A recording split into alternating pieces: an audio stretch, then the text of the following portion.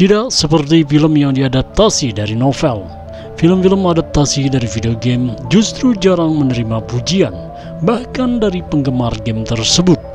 Banyak mengandalkan efek visual dan jalan cerita yang terlalu jauh dari sumber aslinya, sering kali menjadi alasan-alasan film-film ini dibenci banyak orang.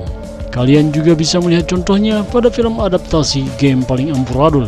Meskipun demikian, tidak semuanya seburuk itu. Ada juga film adaptasi game yang sebenarnya lumayan bagus seperti yang akan Abah tayangkan berikut ini. Tetap saja kritikus tidak menyukainya. Meskipun sudah ada penjelasan mengenai alasan film adaptasi game selalu buruk, tapi ternyata hal tersebut tidak berlaku untuk film-film berikut.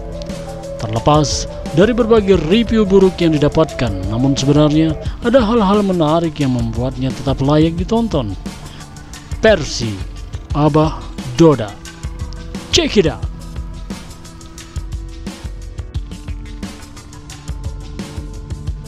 Need for Speed Sebenarnya, banyak aspek di film Need for Speed yang sesuai dengan gamenya.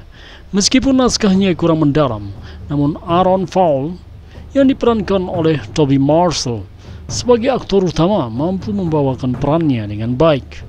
Film yang diadaptasi dari game balapan Android ini juga lebih bagus dibanding franchise film Fast and Furious dari segi koreografi dan karena tidak terlalu banyak drama. Sayangnya, Need for Speed menerima terlalu banyak kritik dan rating rendah meskipun sebenarnya menarik untuk ditonton.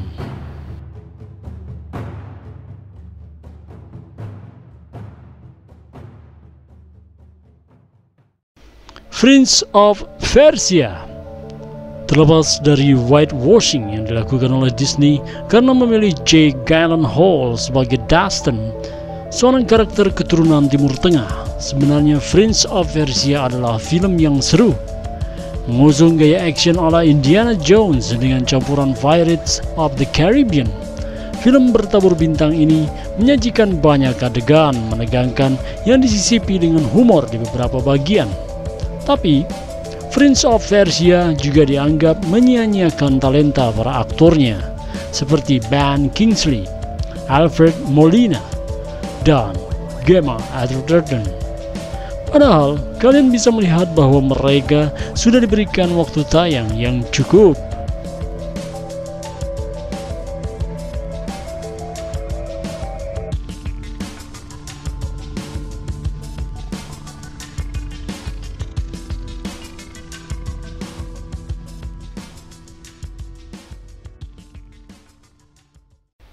Mortal Kombat Kualitas acting para pemain film Mortal Kombat memang bukan level Oscar. Pun demikian dengan dialognya. Jalan ceritanya juga mudah ditebak. Tapi setidaknya film arahan Paul W.S. Anderson ini menyajikan keseimbangan antara action dan humor.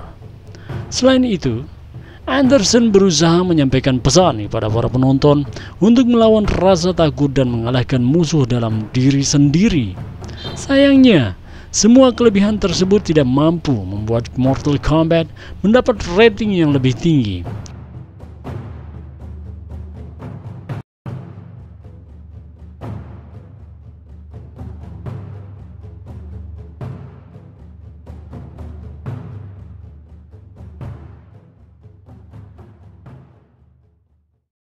Silent Hill. Film horor. Sebagaimana film adaptasi game Jarang mendapatkan apresiasi dari orang-orang di luar fanbase mereka. Tidak heran jika Silent Hill Film horor sekaligus film adaptasi game Memperoleh nilai yang mengecewakan. Padahal Silent Hill begitu sesuai dengan apa yang ada di gamenya. Hal ini tidak terlepas dari Christoph Gans sang sutradara yang merupakan penggemar berat game horror tersebut. Ia juga dibantu oleh tim developer Silent Hill selama proses produksi. Bahkan, ada soundtrack dari game yang juga digunakan di versi filmnya. Penggemar pasti mengenalinya.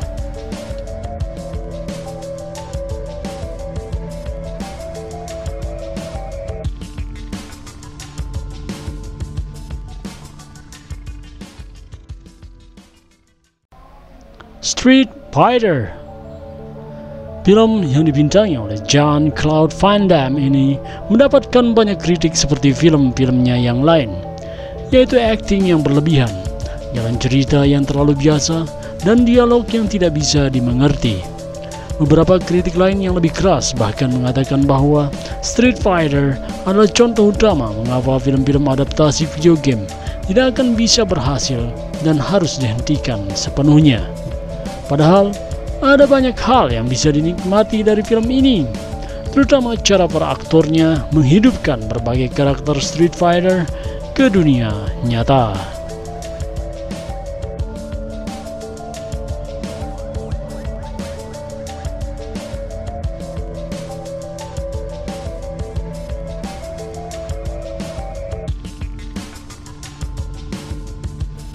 Itu dia film-film adaptasi game yang banyak mendapatkan kritik meskipun sebenarnya memiliki kualitas yang lumayan bagus.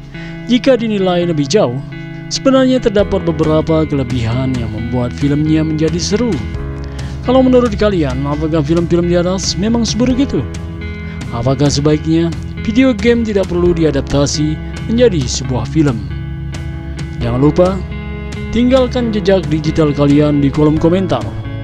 Dan tidak lupa Abah mengucapkan banyak terima kasih kepada kalian yang sudah subscribe, like, dan komen di kolom komentar di channel Abah Doda. Semoga terhibur.